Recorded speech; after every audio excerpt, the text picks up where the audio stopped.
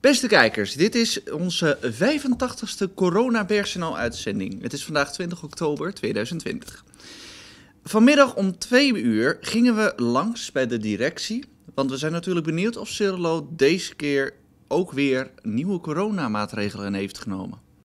Nou, welkom kijkers. We zijn hier uh, bij plein 6. En de dames van de directie zijn aanwezig om even de huidige situatie uh, toe te lichten uh, rondom corona, werk, familiebezoek en alles. Ehm, ik zie Fleur niet. Fleur is lekker een weekje op vakantie. Het is herfstvakantie, dus is op vakantie. Griekenland, binnenland. Drenthe. Dat is binnenland, heel goed. Um, afgelopen dinsdag heeft premier Rutte een aantal maatregelen aangekondigd.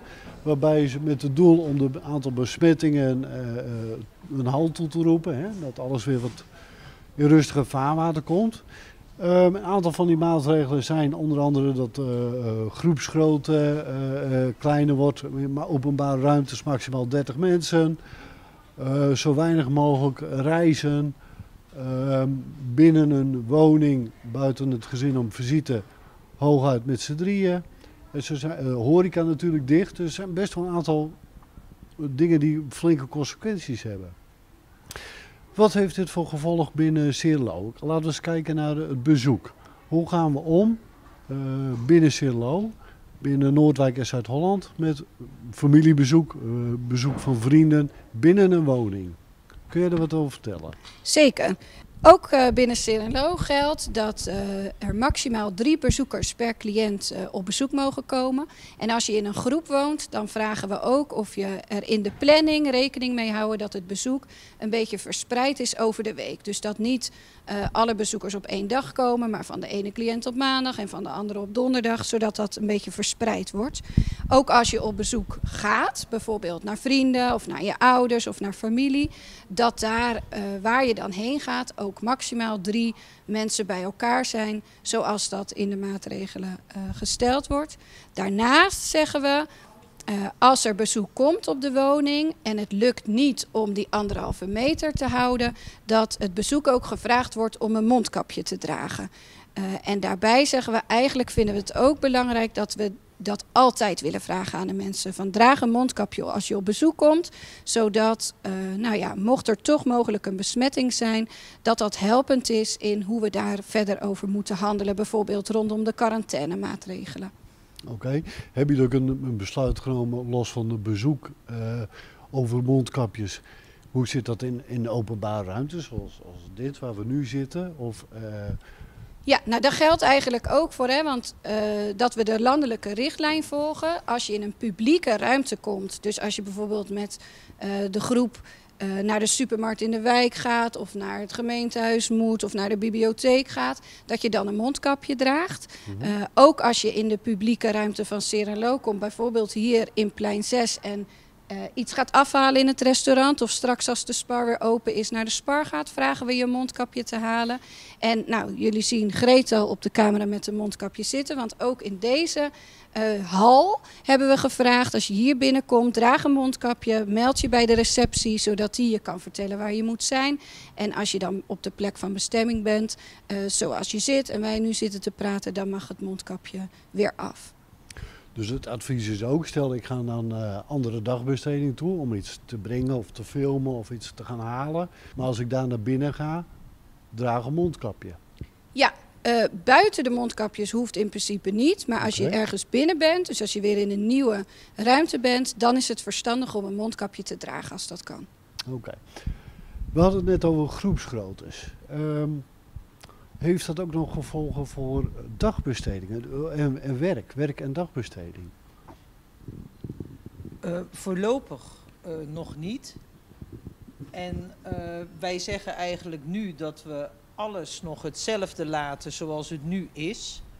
Um, omdat we wel um, besmettingen hebben in de regio. Maar het is nog niet zo hoog dat we met elkaar zeggen we gaan iets veranderen aan hoe we dagbesteding of werk nu uh, hebben georganiseerd. Dus daar zijn we blij mee, want we weten hoe belangrijk uh, dagbesteding en werk voor iedereen uh, is. -hmm. Dus dat blijft nog hetzelfde.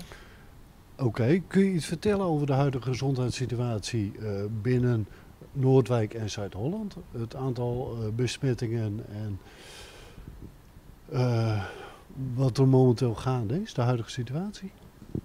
Nou, huidige situatie is dat we negen cliënten hebben die besmet zijn. Verdeeld over een, een eh, aantal in regio Zuid-Holland en een aantal op het woonzorgpark. Er zijn ongeveer zo'n 18 uh, van onze collega-medewerkers uh, besmet. En uh, nou, verder hebben we hier weer onze crisiszorgunit in gebruik genomen op het zorgpark. En dat wil zeggen dat we daar uh, cliënten die soms ernstig ziek zijn doordat ze corona hebben, van onszelf of andere regio's van Cerelo, of ook vanuit andere organisaties in Zuid-Holland, daar willen opvangen. En op het moment verblijven daar twee cliënten vanuit andere organisaties uh, in Zuid-Holland. Ja, duidelijk.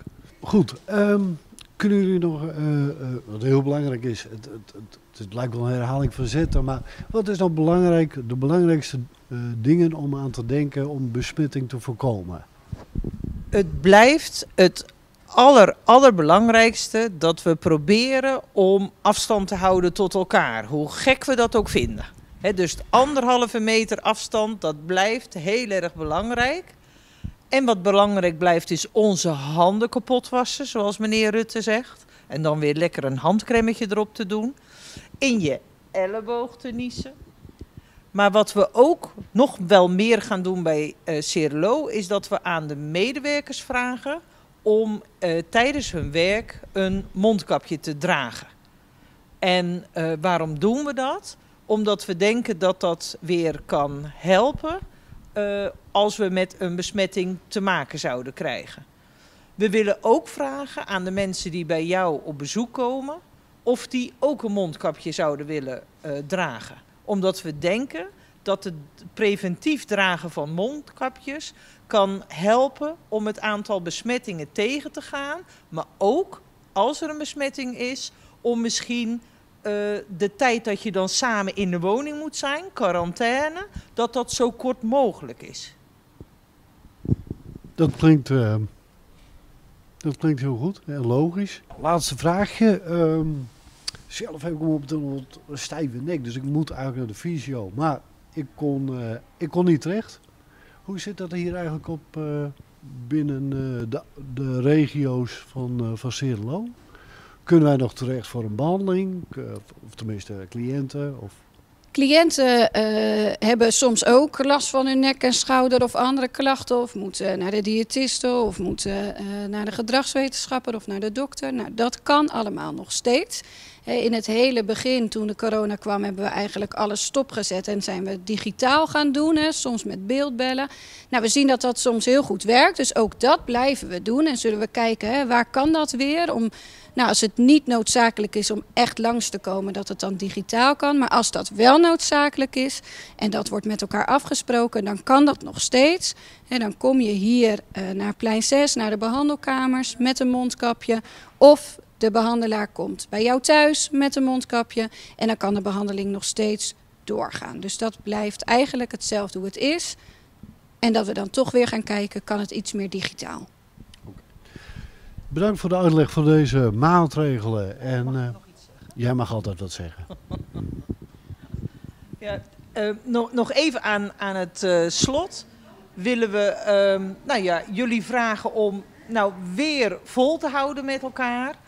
We zijn heel blij dat we nog met heel veel dingen hetzelfde blijven doen. Uh, dus daar zijn we heel blij om. En dat we ook proberen met elkaar aardig te blijven. Voor elkaar. Dank jullie wel. Doeg! Nou, bedankt voor deze informatie. En dan nu iets heel anders. Jeroen van Katwijk heeft een nieuw liedje op YouTube geplaatst. En we spraken hem na zijn werk bij Schoon Genoeg. Nou kijkers, we hebben weer eens een interview met een artiest. En jullie kennen hem wel, daar staat hij. Het is Jeroen van Katwijk.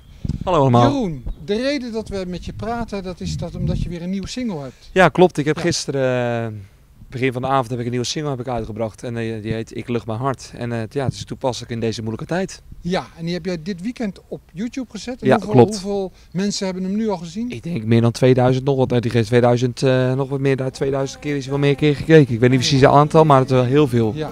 Nou, we laten eventjes een heel klein stukje van, van jouw nieuwe single zien. Is goed? Ik lucht mijn hart en maak een nieuwe start. Ik geef een zucht en voel me dan opgelucht. Geen tegenwind, de dag die begint. Een lijster die zingt, ik voel me bemind, een Hey Jeroen, je hebt de tekst zelf geschreven. Ja, dat klopt ja. Ja, en, en wat, wa- wat hield je bezig toen je die tekst schreef? Nou ja, ik was natuurlijk, heb ik net als mijn andere mensen hier op het terrein en bij mijn collega's hebben we drie maanden hebben we natuurlijk thuis gezeten. Dus ook geen optredens, ook geen werk. En ja, dan ben je toch eh, aan het bedenken over het leven en dat gaat natuurlijk over de corona. En ik dacht van mezelf, daar moet ik een liedje over schrijven. En toen kwam eigenlijk het toepasselijk over Ik lucht mijn hart. Is dan eigenlijk het liedje eigenlijk over, gaat ook een beetje over mezelf, maar ook een beetje over de corona. Het is moeilijk, maar we moeten verder. Ja. Hey, en jouw moeder gaat een steeds belangrijkere rol spelen bij jouw eh, Ja, video's, ze is mijn, achter, ze is mijn eh, foto eh, dinges. Die maakt de foto's en ze is mijn achterkoor. Van mijn liedjes. Nou, Ja. dat, is, dat is niet mis, joh. Ja, en ik heb ook de tweede stem ook gedaan in het refreintje. Dus dat was ook wel spannend. Ik, normaal heb ik natuurlijk één stem. Maar ja, ik, ik vond het een leuk idee om een tweede stem te doen. Ik zei tegen de, tegen de studio van jongens, ik zit met een eh refreintje. Zal er een tweede stem in kunnen? Nou, Ja. we kunnen het uitproberen. En het klonk gewoon hartstikke leuk. Gewoon. Hey, maar je hebt de laatste tijd geen optredens Nee, meer, dus. Nee. Klopt, nee. Dat scheelt ook wel in eh, inkomsten, denk ik. Nou ja, ik, het is nog steeds een hobby van me, Jos. En het, eh, ik, eh, het is voor mij een leuke hobby. En ik vind het leuk om voor af en toe eens een optreedje te doen. Ja. En het hoeft niet, ik, als ik ervan had moeten leven, en ik zie ook heel veel collega's onder mij onder de, op internet, hoe ze moeten om moeten gaan met de corona. Dus, en als Ja. ze elke maand, elke maand uit moeten rekenen van kom ik wel de maand uit. Hm. Ja, dat, dat, dat wil ik gewoon niet. Ik Nee. vind het gewoon een leuke hobby en het is gewoon, gewoon goed Ja. zo. Hey, en Jeroen, wat was nou je vorige single? Jij bent nog klein, die heb ik speciaal geschreven voor mijn, eh, mijn nichtje. Ook in de coronatijd is ze geboren. Ja. Dus, eh, te vroeg geboren en te hoor je ook in het liedje. En Ja. Met een videoclip erbij natuurlijk tijd. Een trotse oom ben, zoals je me nu al kent. Ben ik jouw grootste fan. Ik ben zo trots op jou, weet dat ik al heel veel van jou hou. Ik ben je oom Jeroen, want jij en ik gaan straks samen leuke dingen doen. Nou, we hebben nu twee nummers gezien, maar jouw allergrootste hit, wat is dat? Ja, we hadden meer schreeuwen. De- ieder- Ja? Iedereen vraagt wel eens tegen mij, Jeroen, scoor je nog een keer een nummer 1 hit? Ja, natuurlijk zal het ooit nog een keer leuk zijn, maar het is ook heel erg moeilijk als je één keer een nummer 1 hit hebt gescoord, dan is het nog een keer moeilijk om nog een keer zo'n grote Ja. nummer 1 hit te scoren, zeg maar. Ja, en hoeveel kijkers eh, heeft het bij de Ik denk, meer dan, ik denk meer dan 80.000 keer. Ja, is wat. Daar waar de meeuwen schreeuwen, waar de meeuwen schreeuwen, waar de meeuwen schreeuwen is het strand.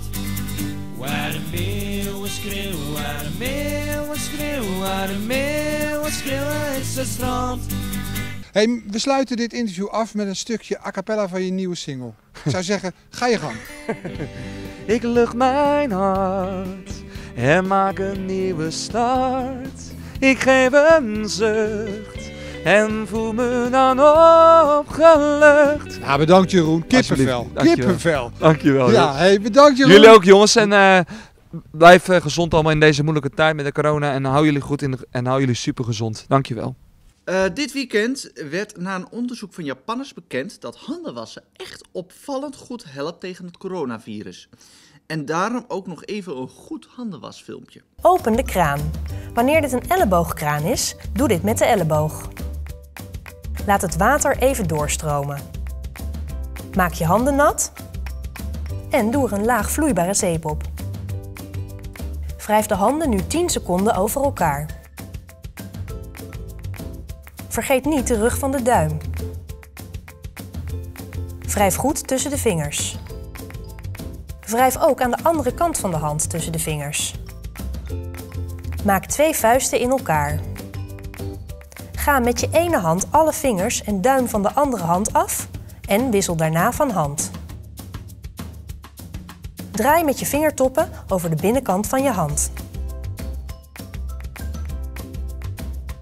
En vergeet de polsen niet. Spoel dan je handen goed af met water.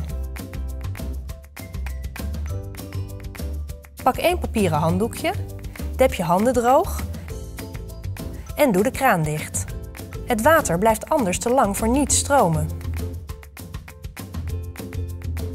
Pak een handdoek en droog de handen, ook de polsen en de vingers goed af. Open de pedaalemmer met het pedaal en gooi tenslotte de gebruikte handdoek erin. We kregen van Patricia een filmpje van de Jeruzalem Challenge. We gaan proberen een landelijk, een seroloog filmpje te maken van deze dans. Hey jongens, ik ga me eerst voorstellen. Ik ben Mieke. Is eigenlijk helemaal niet belangrijk, maar ik werk in Druten. En ergens in Nederland ook een deel van Cerelo. En ik heb een uitdaging voor jullie. En ja, voor de oplettende kijker. Je hebt hem vast al gehoord, de Jerusalema Challenge. Nou, daar ligt mijn uitdaging voor jullie. Want heel, ik heb al honderden filmpjes voorbij zien komen van allerlei ziekenhuizen en verzorgingshuizen en dergelijke. Die me allemaal laten zien hoe goed dat zij dat dansje kunnen. Hartstikke leuk. Maar wij pakken hem groter aan. Wij gaan landelijk. Want Serenlo heeft wel 16 verschillende regio's. En hoe tof is het om uit elke regio een filmpje toe te voegen aan die challenge. Zodat wij echt met heel Serenlo landelijk kunnen laten zien. Dit zijn wij. En wij kunnen dit veel beter dan al die andere filmpjes. En daar heb ik natuurlijk jullie hulp bij nodig. Dus ga met jouw woning, met jouw begeleiders, met jouw werkbegeleiders, met jouw collega's, met je, met je bewoners. Ga dit filmpje opnemen. Hou het lekker klein. Ga lekker in je tuin staan, in je woonkamer. Ga op de tafel staan wat mij betreft. Maak een leuk filmpje.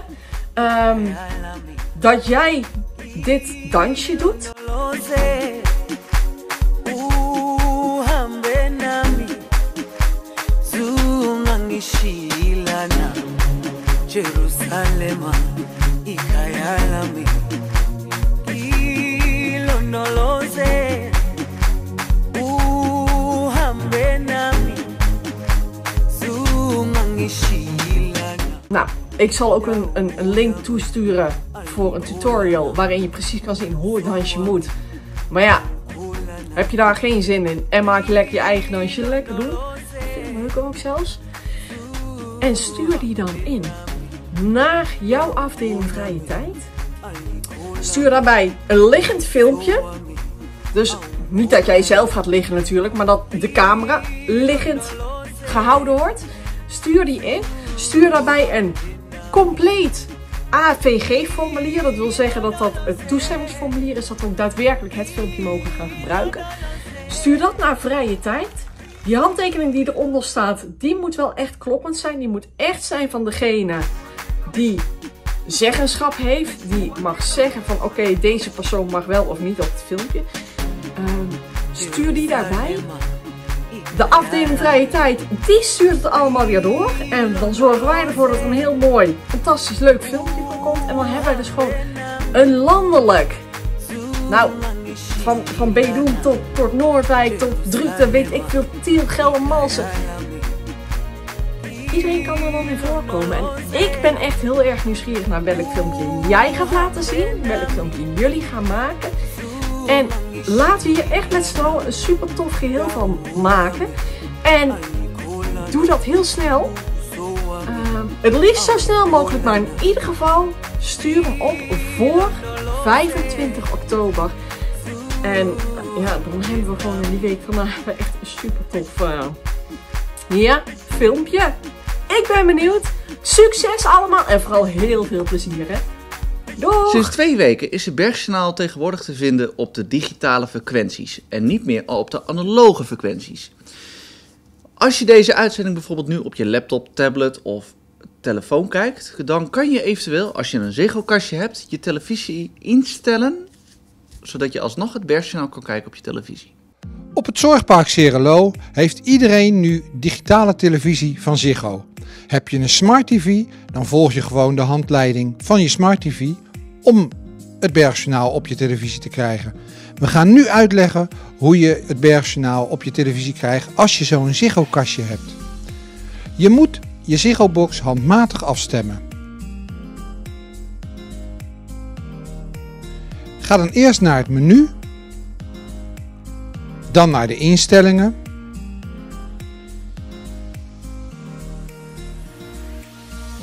Ga dan naar installatie.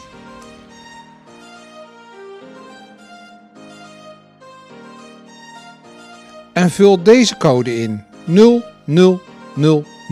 Dus 4 keer 0. Ga naar zenders zoeken.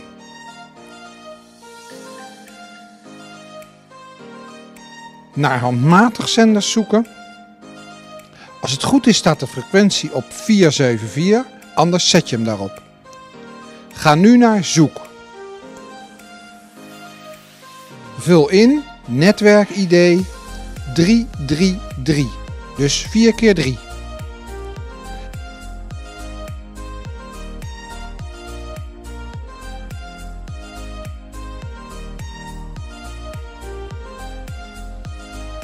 En nu heb je het Bergjournaal op je tv. Op kanaal 985. En we sluiten af met de Happy Tijd Show. En daarin zien jullie onder andere Baccara met I'm Sorry, I Am a Lady. Met Fred, die komt drummen. En we hebben een liedje van Elvis. En daarna komt Toddy Brexit met het weer. En mij zie je vrijdag weer.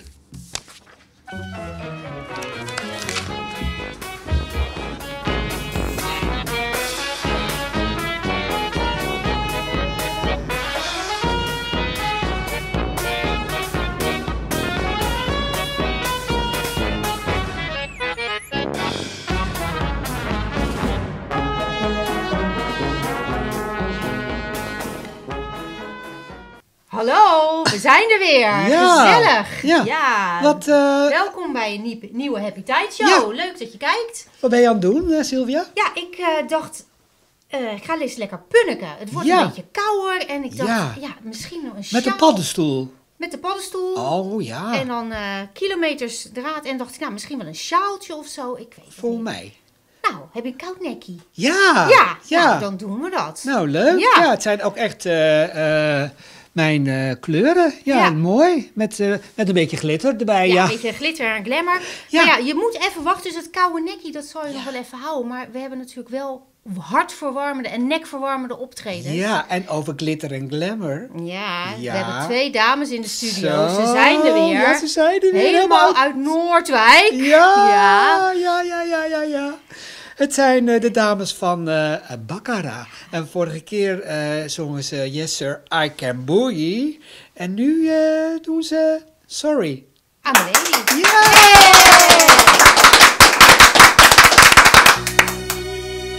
Ooh, here comes that man again. Something in the way he moves makes me sorry. I am a lady. Hello, stranger, you're a danger to the law. I know they're here. They don't like men like you in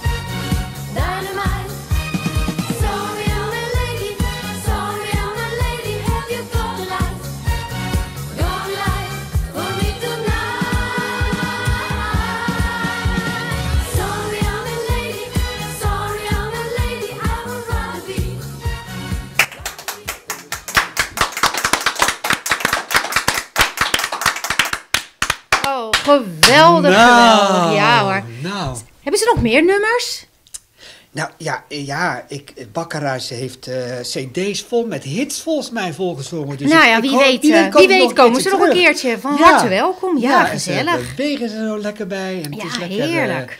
glitter en glamour. Maar nu krijgen we iets anders. Ja, iets, Ja. iets meer Ja. body. Body, ja. Beetje soort- heavy. Ja, een beetje heavy, een beetje lekker... eh, Beetje rocken. Ja, een beetje rocken, een beetje Stampen, lawaai. ja. Een beetje, een beetje drumstok eh, op het drumstel slaan.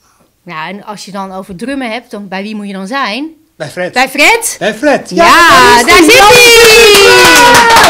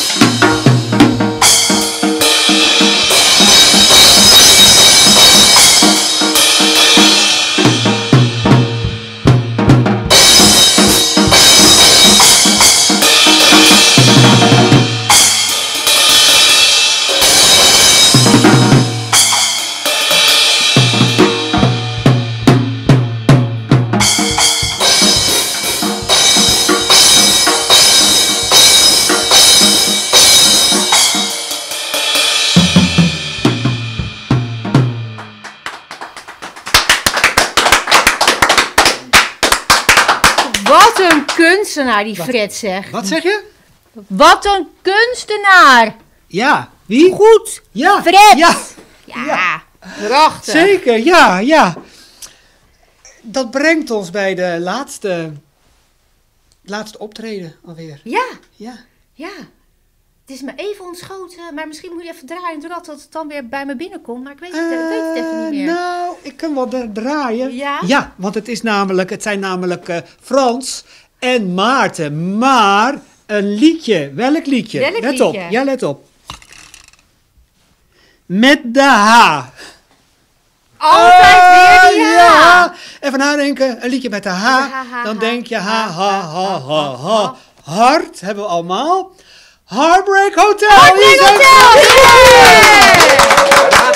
we. Well, since my baby left me, I found a new place to dwell. Down the end and lonely street at Heartbreak Hotel. Baby, so lonely,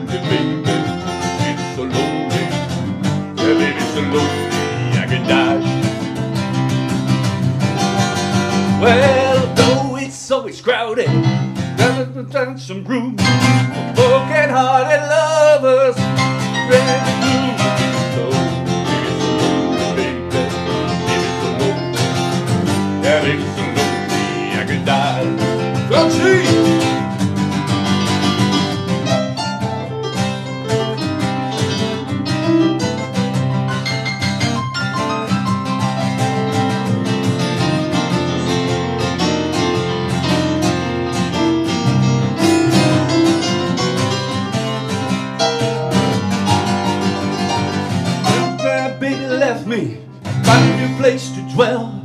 Down the end a lonely street at Padre Hotel. I've been so lonely, baby, where I've been so lonely. I've been so lonely, I could die. Oh, if your baby, leaves you, the right to tell.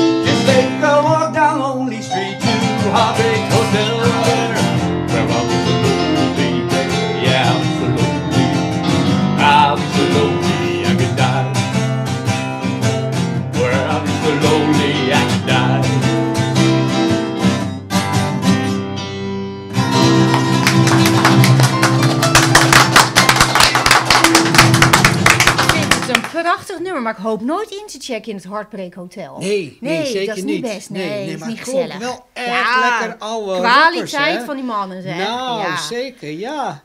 Maar dan eh, ja, zijn we dan toch alweer aan het eind van deze geweldige uitzending Ja. gekomen. Gevarieerd, gezellig. Zeker, ja. En, ehm, En creatief. en creatief, ja. Ja. Nou, hartstikke leuk dat je keek. En eh, heel graag tot de volgende. En jij blijft doorpunniken? Ik blijf doorpunniken. Ja, ja. Ja, misschien een goed idee, een goede tip voor thuis ook. Ja, als je een om- knutselwerkje hebt, Ja. zet het maar net naast de moorkoppen neer. Dan eh, laat het Ja, gewoon zien. wol kunnen we ook gebruiken. Ja. En dan kun je er gewoon lekker Gaan we lekker door. Ja, Alle, alle kleuren van de, van de herfst. Ja. Oké, hey, tot de volgende keer. Hoi.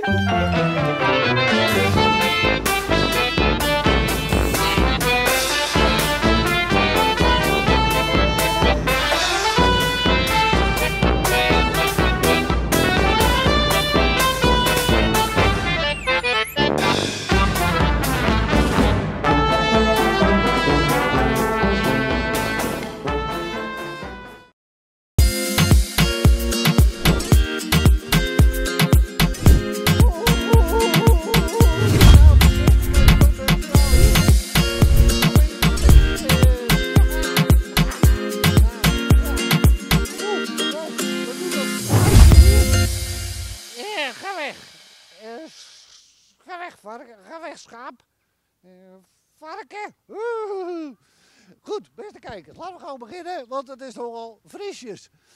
Eh, vandaag, vannacht komen er buien. Buien die komen over, over Noordwijk heen gewaaid. En dan gaat het regenen. En wat hebben we daarvoor?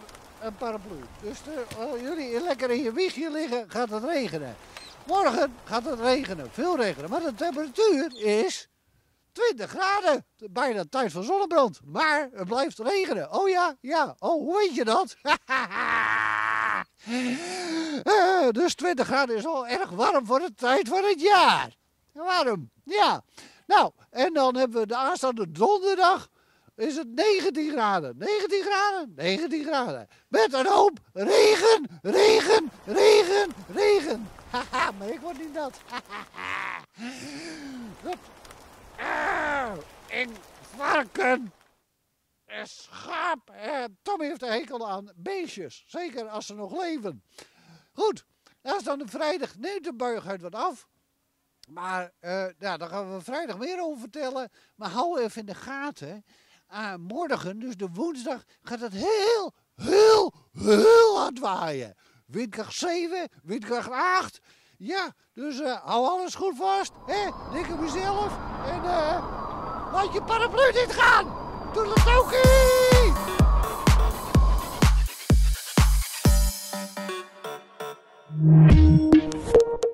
Alleen wanneer iedereen zich aan de maatregelen houdt, zetten we samen een stap vooruit. Blijf thuis als je klachten hebt. Ben je ook benauwd en of heb je koorts? Dan blijven alle huisgenoten thuis. Werk zoveel mogelijk thuis. Houd anderhalve meter afstand. Vermijd drukte en was vaak je handen. Alleen samen krijgen we corona onder controle. Meer informatie? Kijk op rijksoverheid.nl slash coronavirus of bel 0800 1351.